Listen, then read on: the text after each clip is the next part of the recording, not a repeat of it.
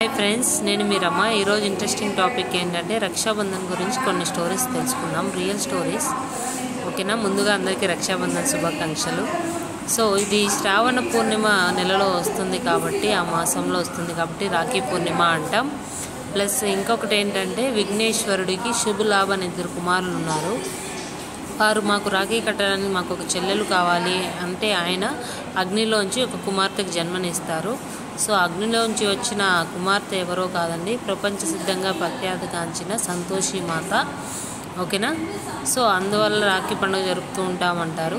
ఇంకొకటి ఏంటంటే యుద్ధానికి వెళ్ళొచ్చిన తర్వాత శ్రీకృష్ణ శ్రీకృష్ణునికి పాండవుల భార్య అయిన ద్రౌపది దేవి ఆయన చేతికున్న గాయాన్ని చూసి కట్టు కడుతుంది అప్పుడు ఆయన సంతోషంతో నువ్వు నా చెల్లెలుగా వర్ధిల్లుగా వర్ధిల్లుతావుగాక అని చెప్పి ఇప్పటి నుంచి నేను నీకు రక్షణగా ఉంటాను అంటాడు.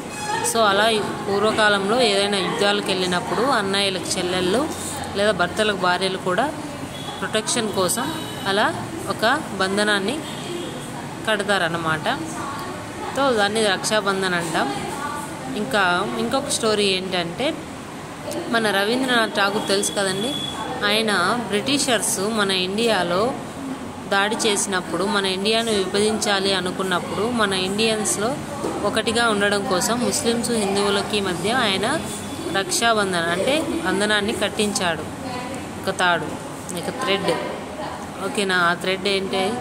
రక్షాబంధన్ రాఖీ. ఓకేనా?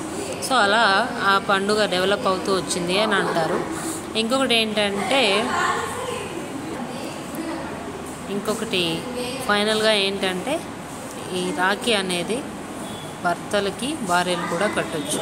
వాళ్ళ క్షేమం కోసం వాళ్ళ ప్రొటెక్షన్ కోసం మనం కట్టే రాఖీనే రక్షాబంధన్. అందరికీ రక్షాబంధన్ శుభాకాంక్షలు. Please like and subscribe. Don't forget. అమ్మ తెలుగు అమ్మాయి channel. Okay?